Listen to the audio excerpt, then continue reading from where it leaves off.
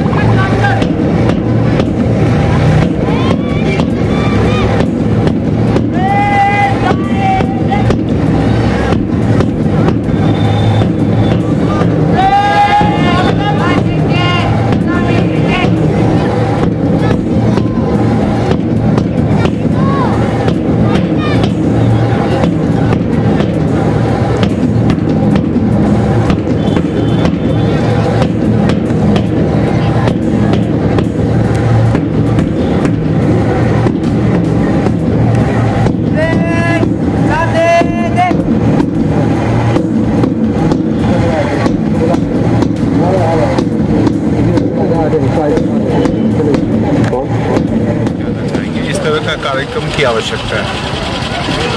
और खास करके दरभंगा जो क्षेत्र है, यहाँ पोटेंशियल की कमी नहीं है। हम तो विश्वविद्यालय का खेल देखते हैं। और विश्वविद्यालय के खेल के लिए जब तक स्कूल से खेल नहीं ऊपर उठेगा, तब तक विश्वविद्यालय का खेल का कोई वजूद नहीं बनेगा। आज मिथिला विश्वविद्यालय खेल के फ़ील्ड में बहुत आगे ना केवल बिहार में बिहार में तो केवल मैं ही हूँ। अगर बिहार में मैं हूँ तो वो सब स्कूलों का दिन है। तो मैं तो ऐसा चाहता हूँ कि यहाँ हर महीने कोई न कोई स्कूल का एनुअल मीट हो। और जिससे जो बच्चे निकले हैं उन बच्चों को मुझे तराशने का मौका मिले। मैं आज कुछ घोषणा भी करूँगा इससे जो बच्चे आएँगे, वो आगे भविष्य में अपने विश्वविद्यालय और इस रीजन के लिए बहुत बड़ा एसेट हो आप अगर, आप गौर करें, हमारे बगल में कैफ़े जी बैठे हुए ये इसी मैदान के प्रोडक्ट। ये हमारे कैप्टनशिप में खेला है। और इस मैदान का प्रोडक्ट बहुत ऊपर तक गए हैं। तो अगर बच्चे खेलेंगे तो निश्चित रूप से उनका सर्वांगीण विकास होगा और स्पोर्ट्स जो है, वो विकास का एक सशक्त मतलब गौर करके देखें पूरे दुनिया में जो देश खेल में आगे है, वो विकास के पथ पर भी सबसे आगे है। तो अब तो ये जमाना है कि खेल के साथ अपनी ज़िंदगी को आप जोड़ सकते हैं, अपने, जो रोज़गार है, उसको भी खेल के साथ आप जोड़ सकते हैं। इसकी आवश्यकता है, मैं यहाँ के प्रधानाचार्य, डायरेक्टर, चेयरमैन सबको साधुवाद देता हूँ कि उन्होंने जो प्रयास किया है, ये प्रयास वो सतत करें तो निश्चित रूप से इस रीजन का विकास होगा और वो बिहार का विकास होगा साथ ही नेशनल में भी हमारा पोजीशन ऊपर होगा। क्या नाम है मेरा नाम हुआ डॉक्टर अजय अल कलम एकेडमी के डायरेक्टर और जो उनकी सारी बडीज़ है जो चलाती है इस एकेडमी को उनको हम दिल की गहराइयों से मुबारकबाद देते हैं शायद ये उन्नीसवां एनुअल मीट है।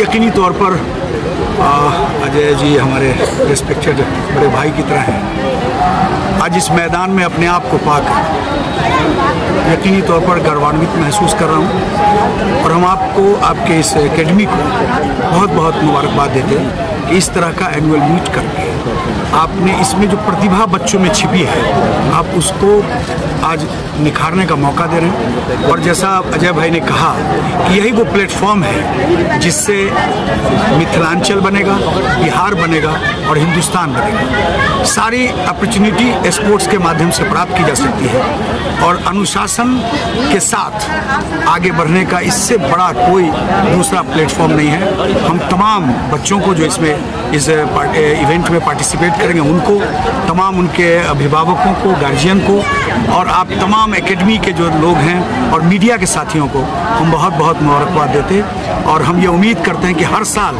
इस तरह का इवेंट हो और ताकि जो बच्चे, जिसमें जो टैलेंट है, उसको यहाँ अपना प्रदर्शन करने का मौका मिले और आगे बढ़ने का मौका मिले। बहुत बहुत मुबारकबाद पेश करता हूँ। ऑर्गेनाइजर अल कलाम एकेडमी की पूरी टीम को मैं मुबारकबाद देता हूँ। और ये जो स्पोर्ट्स है, खेल है, सेहत के लिए, क्षेत्र के लिए और देश के लिए और समाज के लिए बहुत आवश्यक है। और स्पोर्ट्स में एक्टिव हम तमाम लोगों को होना चाहिए। और और स्पोर्ट्स में जो लोग एक्टिव होंगे, वो हर क्षेत्र में एक्टिव होंगे। इसी के साथ मैं अल कलाम एकेडमी की पूरी टीम को मुबारकबाद देता हूँ और डॉक्टर सरवाज अहमद कैफी साहब का शुक्रिया अदा करता हूँ कि इनके साथ, इनकी गार्जियनशिप में मैंने बहुत कुछ सीखा है और आज इनके साथ मंच शेयर करने का मौका मिला है। इसके लिए भी आप तमाम लोगों का मीडिया के साथियों का डॉक्टर सरवाज साहब का शुक्रिया।